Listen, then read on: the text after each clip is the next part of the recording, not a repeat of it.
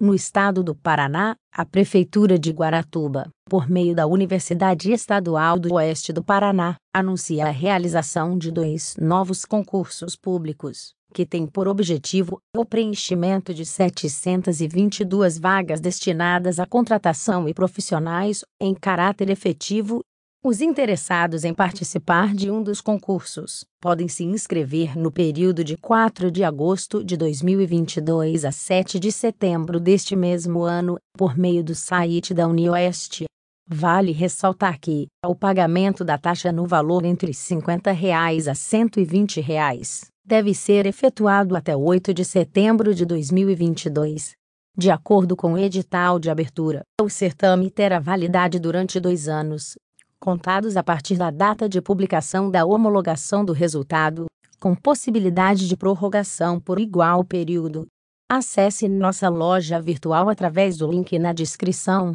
para ter acesso ao edital completo e material para todos os cargos deste concurso.